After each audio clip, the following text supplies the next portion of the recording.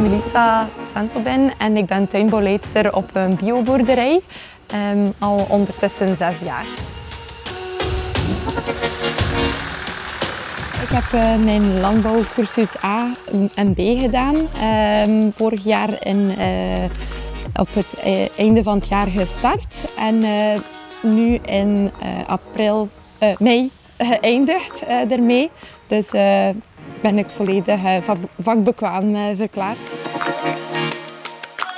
Ik voel mij wat meer gewapend en de cijfers zijn toch ook wel heel belangrijk. Um, dus het is heel belangrijk om na te calculeren waar dat je mee bezig bent. Want wij boeren kunnen hard werken, maar of dat het loont, moet natuurlijk ook, ja, is natuurlijk ook heel belangrijk.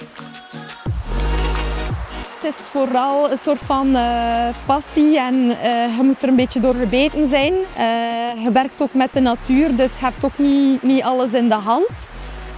ik vind het leuk om, om flexibel te zijn en om om op het einde van de dag echt een mooi product te hebben waar dat je fier op kan zijn.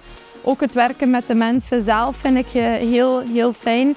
En het is een soort van ehm, ja, spirit bijna dat je hebt. ja, het zit erin of, of niet, denk ik.